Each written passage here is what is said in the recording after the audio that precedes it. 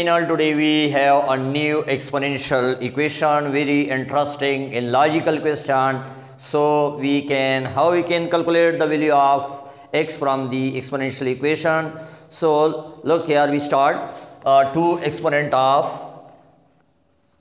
x plus 2 plus 2 exponent of x plus 9 is equal to 89 so in this type of question, first of all, we check the constant value and here we transform this result to the right side. So their sign is also changed in here.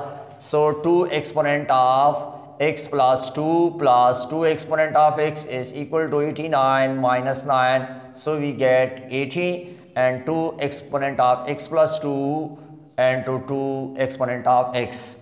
Now according to the rules, so here this term we can simplify according to this rules a exponent of m plus n is equal to a exponent of m dot a exponent of n.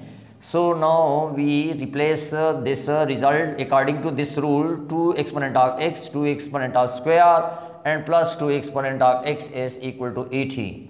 Now we are taking common this term 2 exponent of x 2 square plus and here the coefficient is 1 1 is remaining 80 now 2 exponent of x we get and here 4 plus 1 is equal to 80